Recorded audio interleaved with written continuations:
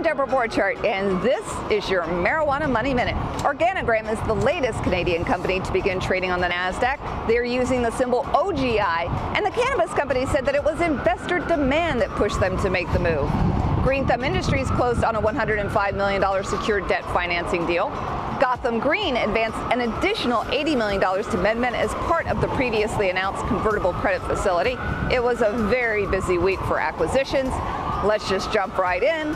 Canopy Growth finalized its acquisition of skincare company This Works in an all-cash deal valued at 73 million Canadian dollars.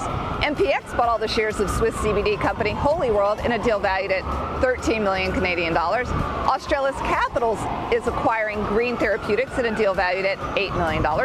Northern Swan took a page from the Acreage playbook and named former Majority Leader Tom Daschle and former Representative Joe Crowley to its board.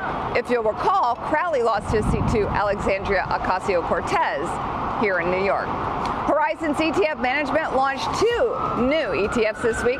The Beta Pro Marijuana Company's two times daily bull ETF, try saying that twice fast, HMJU is the symbol, and the Beta Pro Marijuana Company's inverse ETF, symbol HMJI. The units of these ETFs will begin trading on May 24th on the Toronto Stock Exchange.